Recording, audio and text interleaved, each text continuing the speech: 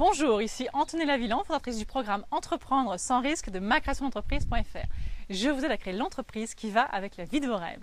Et aujourd'hui, bien, je vais répondre à, la question d'Eric qui m'a été posée euh, il n'y a pas très longtemps, où il me disait mais l'analyse des concurrents, c'est plus possible, Antonella, maintenant les comptes ne sont plus publiés sur Internet. Alors euh, oui, c'est vrai, euh, il y a de moins en moins de comptes qui sont publiés sur Internet, sur société.com, verif.fr ou Infogreffe, parce que eh bien, depuis peu, il y a une procédure qui permet, quand on est une entreprise, de déposer ses comptes, mais de les rendre non disponibles, c'est-à-dire non visibles pour tout le monde. Tout le monde ne le fait pas, euh, bah, tant mieux pour nous. Mais euh, ceux qui le font, eh euh, bah, nous empêchent un petit peu d'étudier notre concurrence et du coup rend notre travail de futur entrepreneur un petit peu plus délicat. pour autant, ne vous affolez pas, il y a encore plein d'informations qu'on peut récupérer et notamment sur le site internet de vos concurrents. moi, je trouve que c'est une vraie, vraie mine. Premièrement, bah, vous savez qu'il y a des mentions légales qui sont obligatoires sur ce site internet et qui sont quand même présentes dans 98% des cas. Sur ces mentions légales, vous avez déjà la forme juridique et le capital de la structure. Ça vous en dit beaucoup. Hein. Si la personne est auto-entrepreneur, bon, quand on sait qu'il y a un auto-entrepreneur qui fait pas une seule facture dans l'année euh, et que bon, allez, euh, le plafond de chiffre d'affaires de l'auto-entrepreneur, euh, bon, quelques, enfin, suivant l'activité, en gros, c'est maximum 80 000 ou, ou un peu moins. bon, et que la moyenne quand même de chiffre d'affaires qui a été publiée il n'y a pas très longtemps dans la dernière enquête euh, sur les auto-entrepreneurs révélait que c'était 17 000 euros le chiffre d'affaires moyen d'un auto-entrepreneur, eh bien, euh, j'ai envie de vous dire, si vous voyez le site internet, euh, c'est un statut d'auto-entrepreneur, allez compter que ça fait 20 000 euros par an et vous aurez une très très belle fourchette. donc ça, c'est la première des choses. Et ensuite, sur ce site internet, eh bien, vous allez pouvoir dénicher des tas d'informations, notamment sur bah, les erreurs qu'ils font. Ça, c'est une première chose je laisse passer euh, les deux camions.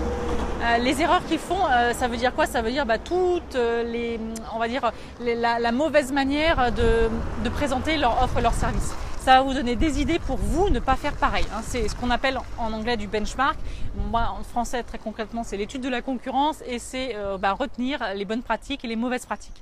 Donc, quand vous analysez vos concurrents, vous allez trouver des bonnes pratiques, des trucs que vous avez envie de refaire, et puis des trucs que vous trouvez moins bien, voire carrément pénalisants. Et comme vous avez un œil neuf, eh bien, vous allez pouvoir les détecter et ne pas refaire ces erreurs. Parce que je vous rappelle, on n'a qu'une seule vie. Si vous faites toutes les erreurs de tout le monde, vous n'aurez jamais le temps de réussir.